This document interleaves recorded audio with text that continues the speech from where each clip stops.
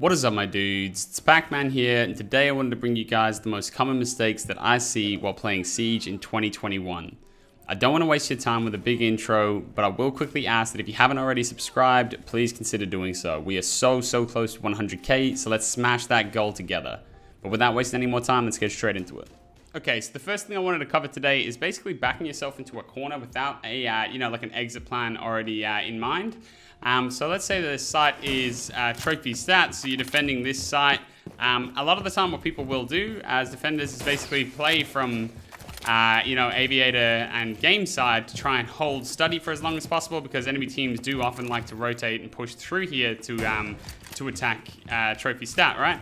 So what you want to be careful of is just when you're playing this position, you just want to be very aware of timing and you basically when you know you shoot a few drones here, you're gonna want to back off slightly. Shoot a few, a couple more drones and back off. What I do see people do, let's say these walls are actually reinforced, right? So these two walls here and these two walls here. What you see people do a lot of the time is they'll shoot a few drones, blah, blah, blah, and then they go, okay, let's rotate back into Vault, okay, right? So then they'll be playing in Vault, and uh, especially if you're doing this alone, if you're playing in Vault, and once you kind of put yourself in Vault, um, like let's imagine I'm a, I'm a player without a shotgun, it's really it's going to be like a Jaeger or a Melusi for the most part, doing a roam like this or a Mozzie. Um, so what you're going to be kind of left with now is uh, you're just kind of in a position where there's no rotate out because they're going to be pushing uh, bookcases over there and they're going to be pushing uh, study door, uh, aviator door. Right, and uh, sometimes they'll even open this line of sight here with the banner, and then you're just kind of trapped in vault, right? Rather than what you could have done is you could have maybe shot a couple drones, shot a few drones, and then as they start to open this wall here, then you can start backing out, backing out. Oh, I did not mean to vault, but backing out, uh, back out here to uh, Skull. Right, so we can back out here to, to Skull, and you can shoot a couple more drones again, and just before they take 90, so maybe if they've taken the 90 cam out, you can even rotate uh, back onto red stairs here, or you can rotate back out further. But that's just like a general, one, one specific example for that. There's tons and tons of other, you know, places that you can you can kind of back yourself into. Like another one here is um, astronomy. So when the site is not um, uh, trophy stat, if you play behind this desk here, a lot, I'll see a lot of people kind of playing behind this desk, trying to hold bathroom. And the reality is, like, you're kind of trapped, hey? Like, because most of the time, let's say if you don't actually have a rotate here, then the only way out is basically through this doorway or over Astro stairs, and both are covered by attacker positions, right? So you're not going to be able to get down these stairs without swinging into the guy in bathroom, and you're not going to be able to get out split without swinging into the guy that's on rappel. Um, so if you're in here, just be prepared to die. The best thing, the best, best, best case scenario you can do really is just trade yourself. So get a kill and then get get traded out. That's ideal, but a lot of the time they're just going to dump flashes on you, maybe throw a grenade in over the top, and you're just kind of going to get pinched out and squished. And uh, that's just not what you want, right? So like the two ways to counter that is to potentially, you know, have a little rotate here. Um, that's one way, but you do need to be cautious that this window because uh, they can just spray you down as you start to rotate out. They can't get an angle on you behind the desk, but they can definitely spray you as you start to cross here. Um, so you can do that, right? But an even, potentially an even better way uh, to do it is to just put like one Rio up here and play behind Trophy, right? So you can support Brick's door, you can stand here and support uh, bathroom, you can watch the bathroom push. If someone goes to rappel in, you can swing out on them. And, uh, you know, now you've got more exit routes. You can go and push back out here. If the site's AVG, you can start working your way back up uh, 90 long, as long as there's no one on the window, obviously. You can start working out uh, your way back 90 short, sorry. Uh, or you can just hop over the edge and uh, try and either rotate up red or rotate all the way around brown. The point is, it's not. I'm not trying to give you too much, uh, too specific an example. I know that was very specific, but I'm trying to get just get into your get into your heads when you're going for a roam. Just make sure that you're not putting yourself in a position where you just you can't really escape all right? Like so and and you know i'm all about contesting entry. I think that's kind of meta at the moment is by like going to where you think they're going to enter and fighting them before they you know even come near the site. Um, but like i'm all about that but just make sure that your positioning is correct and make sure that you always have an exit plan in mind when doing so. Okay the second point i wanted to bring up today is basically sprinting and adsing now, I know this is a, you know, a, a, topic that you probably heard a lot about before, and for some of you guys, it might seem a little bit basic, but for a lot of you guys, like, look, the reality is it still happens, like, right the way through plat. I know it does. I see it, like, most days, right?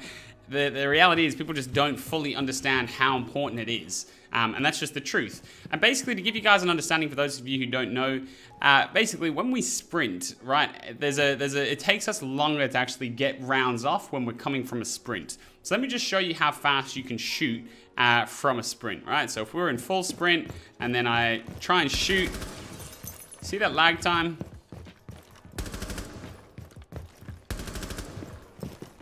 Right, that's that. There's a there's a decent amount of lag time when you go from a full sprint to a shot. There's about a second there. A second they're missing a half a second, um, and it, it is minuscule, but I'm telling you, it's super super important.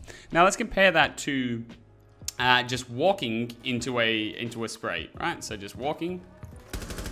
So basically, the difference is you can start hip firing straight away when you're when you're walking in comparison to right, compared to basically hip firing straight away right into your crosshair coming up. That's the difference between walking around and uh, sprinting around. And then compare that then to just having your your crosshair, uh, you know, ADS, right? So just being ADS the whole time. So let's look at this. Obviously, it's instant, right? So for the most part, as best you can, you, you kind of just want to be ADS, right? Because think about the difference in speed of this, right? If someone swings this corner here, think about this, right? Swings the corner. Okay, you see that little lag? Right, so swings the corner in comparison to this. Like if he just swings. I know it's kind of hard to explain, right? But like when you're ADS, you're, you're, you're just so much more ready. You don't have that half second lag behind you. And I promise you, it's getting you killed. If you're sprinting around the map the whole time, especially into gunfights, it's getting you killed. Um, in comparison to just being ADS, right? So just always be basically aiming down your sights. And that's why it's important to make sure that your sensitivity um, is, you know, uh, suitable with doing that. I actually had to increase my sensitivity because for, for the longest time, every time I'd want to change, I'd have to be like flicking my mouse around. And I'm still low. I'm still a lot lower than the majority of you guys. But um, yeah, I had to increase it so that I could basically stay ADS uh, for more time because I knew it was getting me killed, right? Now, the second part that I wanted to speak about, the, the, the third thing I wanted to speak about, my apologies, uh, kind of ties in with this, and it's basically crosshair placement, right? So with crosshair placement, a lot of people kind of, kind of, you know, see crosshair placement as just as long as, as long as my crosshair is head height, then I'm pretty good, right? So as long as my crosshair is always at head height, then I'm, I'm pretty solid. Or even at, you know, at like crouch height. If you think they're gonna pop around that corner for a crouch, um, you can get them done. And while that is a very important part of crosshair placement, you know, like let's say if you're holding an angle here, right? So if we're holding this angle, yeah, you probably want it at head height so that if they strafe across, you can kind of get the shot on them. But if they, um, another another part of uh, crosshair placement that people kind of often overlook, I would say, uh, is basically x-raying kind of door frames and stuff, right? So let's say if you want to take a shot on someone under this door frame, door frame, what do you think is the difference between this, right? So I want to shoot him at, you know, head height level. What's the difference between this? Alright, so yeah, my crosshair never left head height, which is good. Right, so I'm kind of like coming in around the angle compared to this, right? When you kind of, when you, with a bit of map knowledge, what you can do is you can basically imagine where where it's gonna be through walls, right? So you, with, with map knowledge, you're able to kind of keep your crosshair on the door frame there.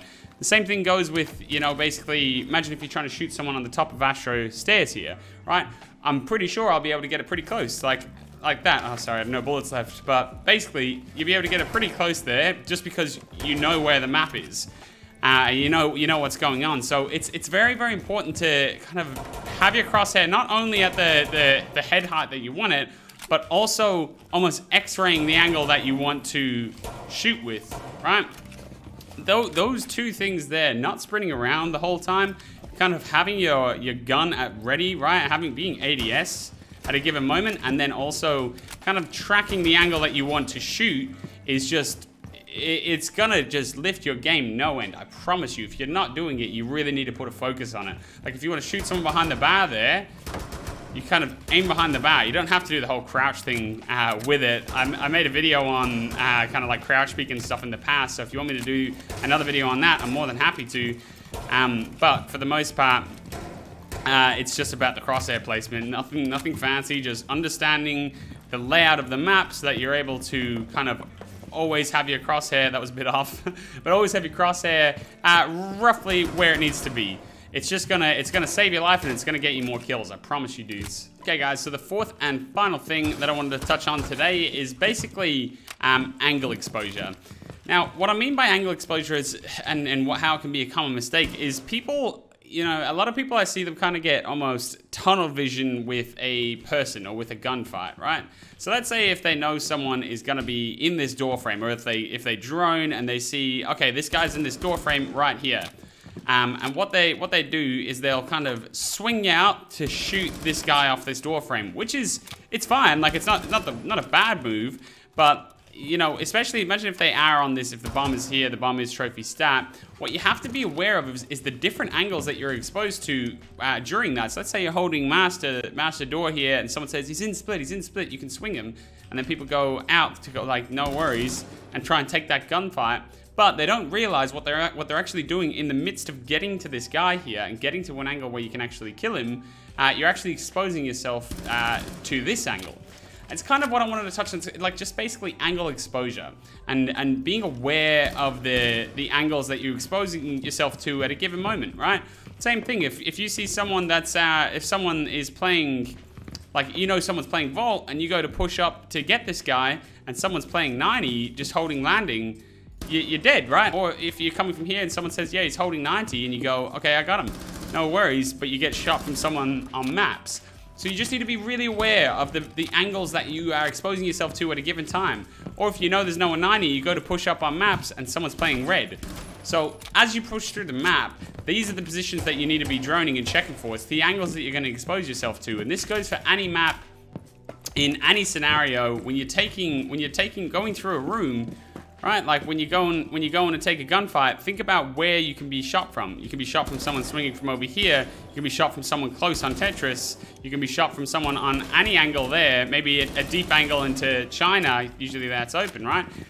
It, it's a hard one to kind of quantify and explain, but you just need to be aware of the angles that you're exposing yourself to at any given time. And for the most part, what you want to do is you want to try and either cover them angles like, you know, be aware of the angles that you're playing or like, you know, like, so let's say if we take it back to this original example, what you want to do is you want to, you know, maybe, so you're covering uh, trophy, you have a look here, you check here really quick, nothing there, and then you can swing out right? So you just want to be kind of like face checking them or, you know, preferably droning that area itself um, or choose a choose a different route, you know, try and try and go somewhere that's a little less exposed. Maybe there's a rotate there, so I'm going to keep my body tight rather than stand in the middle where I can be swung from here, here, or here, or someone close, obviously. What I might do is I might stand a little bit tighter, clear the rotate, no one there, step out, clear the deer, push back, clear this side, and then kind of take my angles one by one rather than, you know, ah, just taking them all at the same time.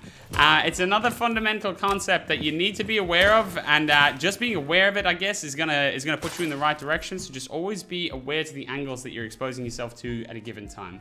So there you have it guys, those are some of the most common mistakes that I see during my time in the mess that is ranked. So hopefully after watching this video, you will walk away with a little more knowledge on things you should be trying to avoid. As always, if you enjoyed the video, please be sure to give that like button a massive smash. Uh, it means the world to me and it really does help out.